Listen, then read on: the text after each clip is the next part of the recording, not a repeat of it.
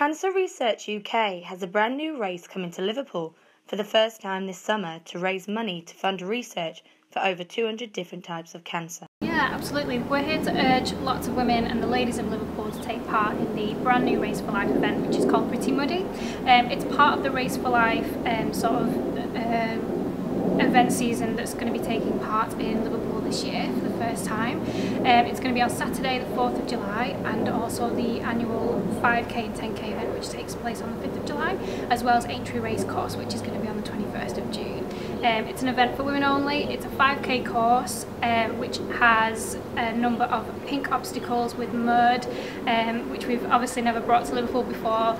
We've had lots of support already from celebrities such as Abbey Clancy retweeted about it and Kim Cattrall. Um, so we're hoping that lots of ladies can get involved and support the fantastic campaign that it is, which is to raise money for Cancer Research UK. In the northwest, four people every hour are diagnosed with cancer. Well, Race for Life started in 1994 as a women-only event. It's always been a women-only event and I think because of the success that it's always had, it's traditionally always stayed that way. But we have lots of other events that men can get involved with. We have Shine, which is a nighttime walk. We have uh, marathons down in London, which men can take part in, as well as volunteering at the event as well. Men can get involved as volunteers and we have some fantastic volunteers at Liverpool.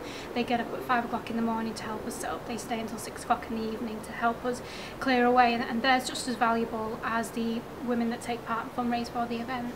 Survival rates have doubled in the last 40 years, and the charity are hoping by 2030 to have a 70% survival rate, in contrast to the 1970s where survival rates were at 25%. We've only just launched Pretty Muddy in Liverpool, so it's it's literally only been live on the website for about a week or so. Um, it started two years ago as a trial in London and it sold out within weeks. And we brought it to the Northwest last year for the first time and again it sold out within a matter of weeks again. So we're hoping it's going to be really successful in Liverpool.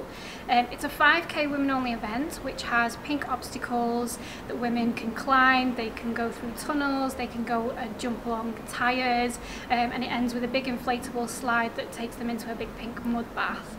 Um, and we want women to get involved to um, sort of raise money for the charity but it's it's not just about sort of blood sweat and tears it's also about kind of fun friendship and lots of fundraising as well despite being an all-female event any male under the age of 12 are more than welcome to take part one in three people in their lifetime will be affected by cancer and get a diagnosis of cancer.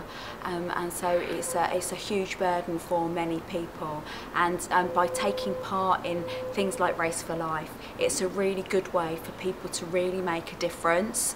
Um, and exercise is also really important in preventing cancers. There's we have so much evidence that Cancer Research UK has done that, that shows the importance of um, making healthy lifestyle changes and taking taking exercise. So it's a bit of a double whammy really by training and taking part in Race for Life.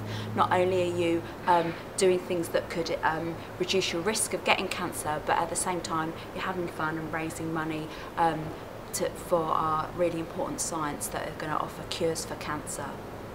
This has been Natalie Townsend reporting for Bay TV.